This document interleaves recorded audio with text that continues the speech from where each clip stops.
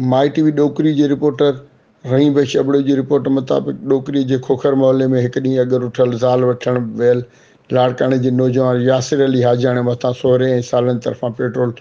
हारे बाह ॾेई साणण जो मामिलो बाह में सड़ी शदी ज़ख़्मी थियल नौजवान यासिर हाजाण जी हालति ख़राबु हुजणु सभु लाड़काणे जे ट्रामा सेंटर मां वधीक इलाज लाइ कराची इस्पताल मुंतकिल कयो वियो आहे ॾोकिरीअ में सोरे रियाज़ खोखर जे घर